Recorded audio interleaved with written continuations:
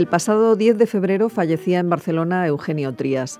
Ha sido uno de los grandes pensadores de nuestro tiempo y por eso hemos querido recordar hoy su vida y su obra.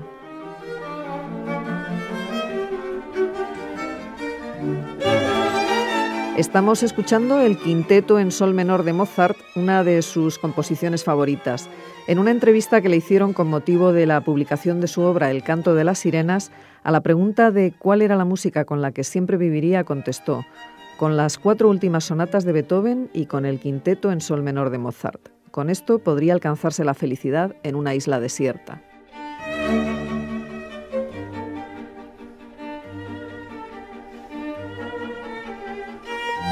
Antonio García Santes Mases es catedrático de Filosofía Política en la UNED y Francisco José Martínez es catedrático de Metafísica también en la UNED. Los dos recuerdan a Eugenio Trías a través de su libro de memorias titulado El árbol de la vida.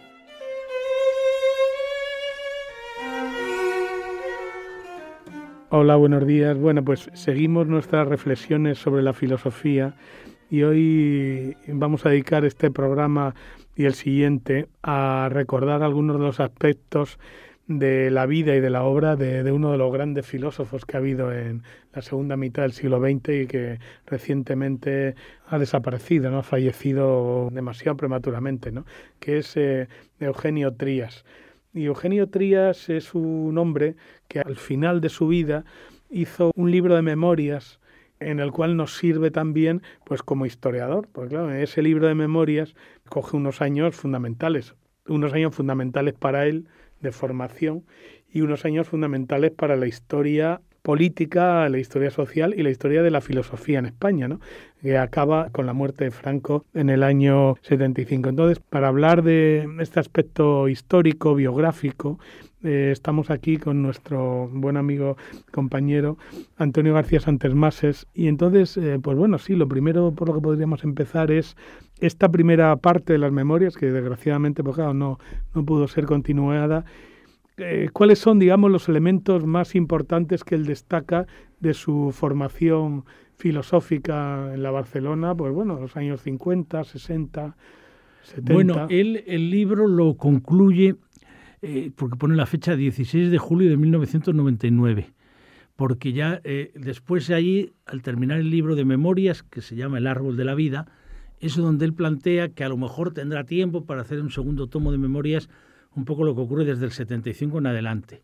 Pero después ya no se dedicó a eso, siguió con otras eh, aportaciones y después hay que tener en cuenta que Trías falleció el 10 de febrero del 2013, tenía una enfermedad larga, o sea que ha sido una cosa dura de lucha de él, de combate con la enfermedad en estos, no sé si son eh, seis o siete últimos años, ¿no? Pero el caso es que él no volvió a ese periodo.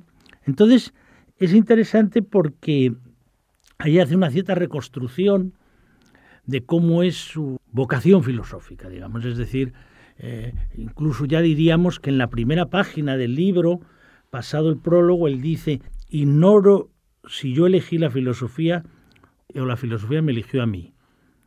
En esa vocación o profesión me suelen reconocer los demás y yo mismo he terminado por aceptar ese veredicto público. Destino bueno o aciago, favor o jugarreta perpetrado por la fortuna. De haber dispuesto de mayor fuerza física o de una consistencia corporal mayor, quizás hubiese optado por una profesión más activa, menos sedentaria, más pública, pero uno tiene el cuerpo que tiene y el alma y el espíritu que se merece. Bueno, y aquí va explicando pues todo el origen. Entonces es interesante eh, algunas consideraciones, ¿no?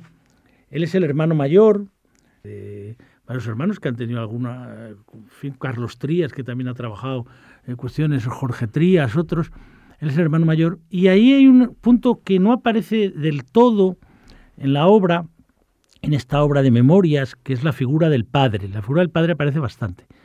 Digo porque en el momento que él escribe el libro, en 1999, se había producido en Barcelona, y yo creo que marcó en parte su, la relación de Eugenio Trías eh, contra el nacionalismo catalán, aquella, aquella experiencia que Arcadi Espada cuenta en su libro contra Cataluña, y es el recuerdo de lo que fue eh, el final de Carrasco y Formiguera.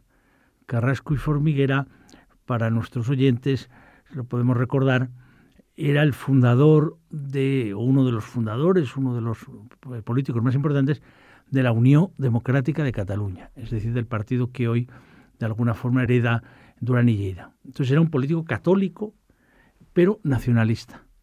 Y entonces, en la perspectiva de lo que fue aquellos años tremendos, de aquellos momentos eh, de, del golpe militar del 36, en el momento que fracasa el golpe militar en Barcelona porque la CNT tiene una fuerza impresionante y asalta los cuarteles e impide que triunfe el golpe, que son ellos los que entregan el gobierno al propio Companys, o sea, de alguna forma eh, la izquierda republicana que gobierna se asienta porque la CNT ha tenido poco parecido a lo que también ocurrió en Madrid con el cuartel de la montaña y con otros lugares. En aquella circunstancia, claro, Cataluña entra en un proceso, Barcelona, de cierto caos, de cierta desorganización, es donde se produce el mayor debate entre Cataluña y Aragón sobre si, el que da cuenta la película de Ken Loach, Tierra o Libertad, eh, sobre si hacer la guerra, ganar la guerra o hacer la revolución, todo ese debate que sabemos que dividió por un lado a la CNT y al POUM frente a lo que era la posición que tenía la izquierda republicana y que tenía el Partido Comunista y todo aquello. Bueno, el caso es que en ese clima, como ocurrió en otros lugares de España, hay un proceso de descontrol del orden público y de gente que iba por lo que eran los famosos, las checas, los paseos. Las... Entonces a este hombre, a Carrasco y Formiguera, pues hay un momento determinado que, que el propio Tarradellas y otros le recomiendan que salga de Barcelona porque no pueden garantizar su seguridad, aunque él sea nacionalista, porque se le tiene como un hombre católico, un hombre de la burguesía y todo ese proceso. El caso es que el hombre sale de allí con la mala suerte, está muy bien explicado en una biografía de Ilairi Raguer, que al salir de allí, este hombre, pues eh, tenía la idea de ir al País Vasco, porque bueno, el País Vasco era favorable a la República, pero era el PNV era que dominaba aquello, era un gobierno católico, ¿no? Eh, un partido católico. Y claro, el problema que tiene Carrasco y Formiguera es que hay un momento que el barco, que él, donde iba, son apresados por los franquistas. Este tipo de, ¿eh? Y entonces, al ser apresado por los franquistas, inmediatamente le llevan a Burgos, al, cuartel general de Burgos. Bueno, claro, fue un problema tremendo porque este hombre, claro, había defendido, por ejemplo, a los colegios religiosos y hasta la Compañía de Jesús en las cortes republicanas frente a Zaña. Entonces, claro, pues los jesuitas todos se mueven para evitar que a este hombre, para sacarlo en libertad, pero Franco, en un momento determinado, eh, pues decide eh, que se aplique una pena de muerte. Todo esto está explicado por Hilario Raguer. Lo que se conocía menos es que entre los testimonios que había de crítica a la posición de Carrasco y Formiguera y de insistencia en lo que había sido su elemento nacionalista, estaba las personas que habían apoyado más eh, la posición franquista en, en, Barcelona, entre los cuales estaba el padre Eugenio Trías. Entonces esto aparece en un reportaje que saca la televisión catalana, pues probablemente vete a saber en qué medida, cómo estaba hecho el reportaje, de qué manera bueno, el caso es que a él parece, según me explicaba, espada que le dolió. Entonces este punto lo digo porque no aparece directamente en las memorias eso, pero sí aparece toda la imagen de quién es Eugenio Trías. Pues el niño que estudia en el colegio de los jesuitas de Sarriá, que su padre eh, era un padre con una enorme importancia en el mundo franquista de Barcelona, porque hay cuenta que fue teniente alcalde del ayuntamiento, imagino que en la época de Porcioles, que fue el alcalde que duró tantos años, y que su gran aspiración, según cuenta Trías aquí en la novela, digo en la novela, en la biografía, era llegar a ministro de Vivienda. Y que entonces no llegó porque tuvo una enfermedad que se le decató en el año 67-68 y ya murió, parece que es en el 68-69, una enfermedad, un cáncer, y ¿eh? y por, cierto como, como, el propio Eugenio Tres. Y entonces quiero decir que ahí está un poco la imagen del padre, de lo que significa el papel del padre, de lo que significa la confrontación con el padre y de lo que significa todo ese mundo. Por un lado, el Colegio de los Jesuitas de, de, de Sarriá y por otro lado, pues el problema de que hay un momento en que él pues decide incorporarse al Opus Dei. O sea que él, hay cuenta los tres años que estuvo en el Opus Dei. O sea, hay poca gente que haya hecho una especie de recuerdo. Por a ti que te interesa tanto el psicoanálisis, es porque él le da mucha importancia al psicoanálisis. aunque, eh, aunque aquí más bien sería un autoanálisis, pero bueno, ahí da mucha importancia a lo que es la memoria, a lo que es la huella. Yo diría en ese punto que, además de la connotación de la figura familiar, está la connotación del tipo de si se quiere, de algo que es muy presente en la obra de Eugenio Trías, que es el tema del papel que juega la religión en ese aspecto. Quizás una cita pueda ayudarnos a comprender esto. Él va explicando pues, cuáles son los primeros recuerdos, los primeros recuerdos del colegio. Entonces dice, del fondo de la memoria emerge siempre de todos modos un antiguo recuerdo. No me resulta fácil determinarlo con claridad. Me es difícil de atarlo. Debía de tener 15 años, debía ser en el penúltimo año del colegio. Todavía era obligatorio en el colegio de los jesuitas de Sarriá de Barcelona acudir todas las mañanas a misa. Hacia el final de la celebración se repartía la comunión para quienes lo deseaban. Y añade con gracia Trías, era desde luego un modo sutil de control por parte de las jerarquías del colegio. Quería ya el sentido de un acto, la misa, la comunión, que se me había vuelto incomprensible o carente de significado. Todos los razonamientos con que se trataba de justificar el sentido de esas celebraciones se me habían vuelto vacíos, imposibles. Me hallaba en crisis con relación a la religión de mi infancia. Me encontraba instalado en un suelo de creencias que se me estaba agrietando sin yo mismo percatarme, o en el que de pronto iba descubriendo peligrosas fallas, presagios amenazadores de temblores y terremotos que atentaba la seguridad y la certeza de mi cosmovisión de entonces.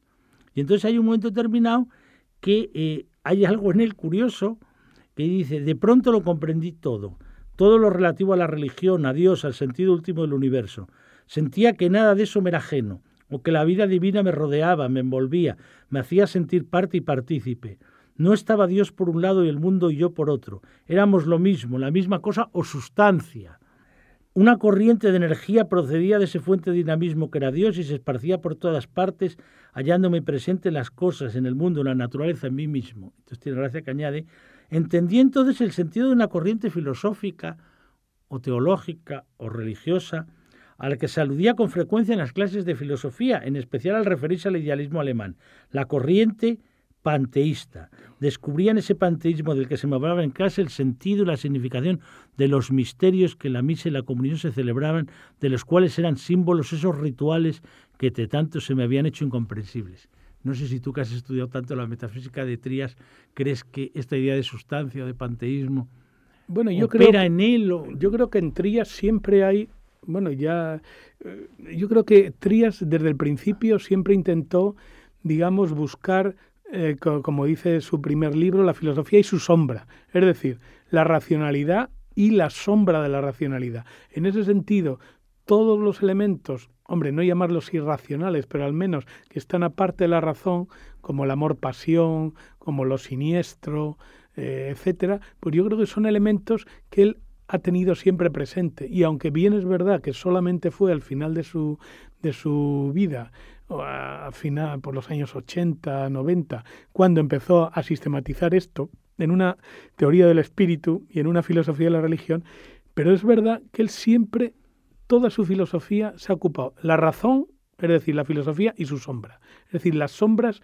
no filosóficas o no racionales que en cambio están alimentando a la, razón. ¿no? Y es muy interesante, claro, porque él al final de su vida habla hace una especie de filosofía de la historia donde dice hay una filosofía, hay una época, una edad simbólica, que es la edad de los símbolos, de la magia, hay una edad de la razón y hay una edad en la cual él piensa que hemos entrado, que es la edad del espíritu, donde ya esa razón no se opone al simbolismo, sino que intenta dialogar con él. Entonces es curioso, una visión completamente hegeliana, por otra parte del asunto, ¿no? Pero él yo creo que siempre ha tenido a lo largo de su vida y de su obra esa especie de una idea de que la razón, él es racionalista, por supuesto, pero esa razón tiene que estar en diálogo con lo no racional, con lo preter-racional o con lo post-racional. Y en ese sentido, la religión es un elemento con el cual dialoga continuamente. Y justamente la edad del espíritu, que es nuestra edad, en ese sentido también muy postmoderno, es una razón que tiene que hacer las cuentas y hacer las paces con el símbolo. Y eso es el espíritu. El espíritu es una razón, digamos, reconciliada o que al menos intenta dialogar con lo que no es ella misma, con lo simbólico, lo, lo sobrenatural, incluso dice lo trascendente, incluso. ¿no? Y yo creo que ese elemento está bien visto, que está eh, en su obra, no solo en su vida, sino también en su obra. Es lo que efectivamente va apareciendo, porque el libro, el libro de memorias para esto que dices tú, y para lo que es el proyecto es de extraordinario interés porque el libro lo divide justamente en tres partes. La primera parte es agitaciones de la memoria, la segunda, años de aprendizaje, la tercera, cuando empieza a ser conocido él, filosofía y carnaval, y la cuarta, la que él llama el gran viaje. Y entonces efectivamente ahí la idea es esa de, bueno, pues en los primeros escarceos es, como yo creo que tiene gracia, porque le ha pasado a una enorme cantidad de gente que ha hecho filosofía, ¿no? Que la, ha hecho, que la apuesta porque quiere hacer la carrera de filosofía. Entonces el padre se da las manos a la cabeza de que esto no podía ser, hombre, que intentara conectarlo con otra cosa, mayor, con derecho, etcétera, pero él, sin embargo, se empeña, aunque dice que al principio él más bien pensó en, en algo que estuviera más vinculado a la literatura, no tanto directamente filosofía, era aquella vieja facultad de filosofía y letras. Entonces lo que ocurre es que allí lo que sí cuenta con mucha fuerza, yo creo que de las veces que yo he visto de personas que lo cuenten como con más, eh, con más, eh, fin, eh, es el tema de lo de, de, de, del Opus Dei, o sea, que hace todo un estudio de, de, por lo menos de la vivencia que él tuvo, ¿no? De qué momento él decide nada más y nada menos que incorporarse al Opus Dei, es decir, bueno, pues todo lo que, la vivencia que él tuvo de, de, de, de, lo que era la jerarquía, lo que era la obediencia, lo que era el problema de cómo interpretaban los votos, la, pobreza, la castidad, la entrega, es decir, habiendo estudiado en los jesuitas, cómo se fue, qué es lo que ocurrió, ahí hay incluso la, curiosamente que murió al, al día siguiente de él, ¿no? Leonardo Polo, este profesor de Navarra, al que él nada menos que en las memorias le pone el maestro, o sea, como el, el gran filósofo para él, o sea, que quiere decir que ahí hay toda una parte y después hay un momento claramente de ruptura con eso, de vuelta, que es cuando él ya vuelve a la, a la Facultad de Barcelona, y entonces ahí son descripciones de personas que en un momento determinado le influyen.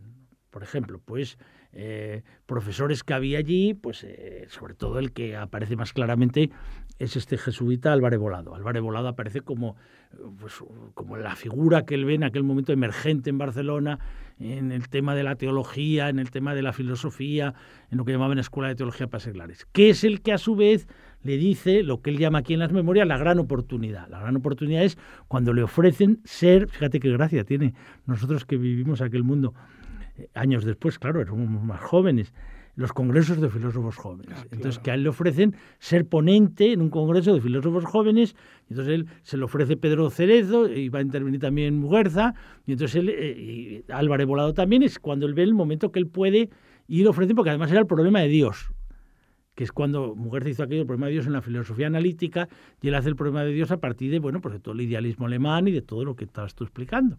Y entonces, bueno, toda la, perspectiva que él tiene ahí y evidentemente la relación que tiene, pues algunas de las, podríamos decir, ¿no? No son especialmente, por ejemplo, pues eh, eh, algunas son muy elogiosas y otras no tanto. o sea, por ejemplo, en el caso de, de Sacristán, ¿no? Pues por ejemplo, pues aquí dice, eh, cuando habla de Sacristán, Sacristán fue siempre un seductor de masas estudiantil daba la imagen sobria y austera de un profesor liberal y dialogante, que ciertamente lo era como pedagogo. Era una eficaz máscara didáctica de su natural doctrinario y dogmático.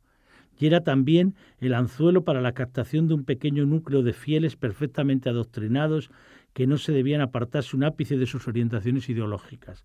Como persona era temible, era un vampiro lúbrico de almas, como me confesó una vez Gabriel Ferrater, que lo conocía bien.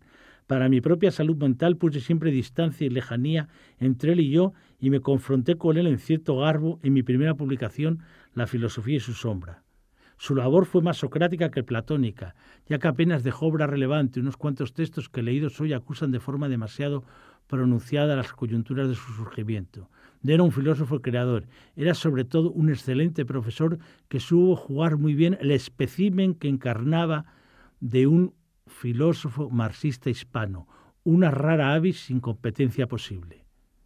Sobre todo era como ideólogo un estalinista consumado que, sin embargo, un poco al modo del alma bella hegeliana, era incapaz de una aproximación seria a las realidades de entonces, prefiriendo siempre la pureza inmarcesible de los principios que defendía, que eran por lo demás espantosos, que la humilde aproximación a los contextos y las coyunturas. O sea, durísimo. Sí, pero eh, yo creo que toca algunos elementos esenciales que hemos visto de la personalidad de Sacristán. O sea, está bien visto. O sea, que tiene una parte ahí de, de decir, bueno, de admiración y, tal, igual que cuando la parte del opus no son unas memorias, digamos, mm, eh, complacientes con todo lo que cuenta, porque también, por ejemplo, cuando habla de lo del opus, después de explicar todo eso, hay un momento que dice como una cosa completamente tremenda, ¿eh? va explicando todo lo que era la, la, bueno pues eh, la relación del opus con el sexto mandamiento lo que todo eso significaba ah, hay una cosa que a mí me parece como muy simbólica no de que le pedían entregar cuando se iba a vivir allí y que él el pobre entregó lo que más quería que era un conjunto de discos magníficos con el amor que él tenía a la música. Y que entonces de pronto veía el piso donde vivían en la comunidad aquella del Opus que estaban allí cogiendo polvo porque nadie le interesaba nada la música clásica. Y decía, hombre, pero ¿para qué he tenido que entregar? Los miraba de vez en cuando como con la enorme nostalgia de haber entregado lo más preciado de mí y el absoluto desprecio que tenía en ese tipo de vida. Y después, bueno, pues explica todo el tema de la obediencia, todo el tema de la jerarquía, todo el tema de las instrucciones, que llegaban una cosa especialmente dura, ¿no? Hay un momento terminado que él dice, bueno, pues las instrucciones que llegaban de lo que había que hacer, ¿eh? bueno, pues... Eh, eh, por ejemplo, pues aquí hay un momento que lo dice, ¿no? durante las mañanas en el piso tal, casi en las afueras de Colonia, recuerdo que no paraba de hacer fotocopias. Por mis manos pasaron las disposiciones que venían de Roma, se refiere a una residencia de Opus en Alemania, y que se distribuían por las distintas regiones de la obra. Fue allí donde descubrí alguna circular que me llenó de zozobras o que comenzó a sembrar en mi cerebro las semillas de la duda.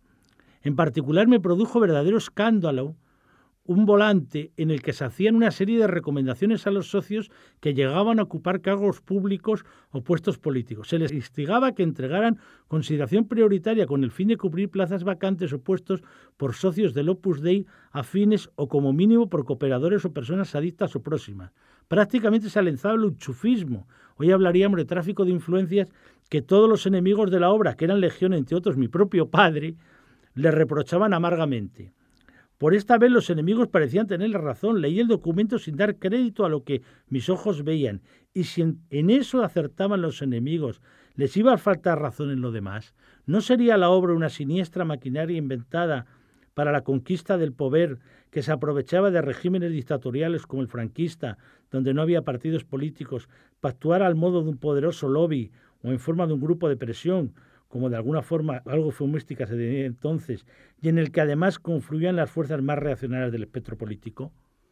Bueno, quiero decir que no es que sea una cosa especialmente, es decir, que hay ahí todo un elemento, igual que cuando habla de los jesuitas, habla también de la crítica enorme del sistema de competitividad feroz de las dignidades, o sea, eso que, que los que hemos sido estudiantes en esos colegios sabemos que era, que era competir ferozmente a quien tenía el máximo, lo, que eran las dignidades dos veces al año, ¿no? Y ahí explica, por ejemplo, pues toda la lectura de las notas, o sea, el modelo de, de lo que era ese tipo de educación, o sea, que tiene interés porque sí que va mostrando el desgarro, digamos, de lo que había sido, pues, eh, la vivencia del padre con el que rompe, el colegio de los jesuitas con tal, la esperanza con el opus la que sale y el momento posterior donde efectivamente pues el choque con la posición que él ve de sacristán y a partir de ahí con quién conecta.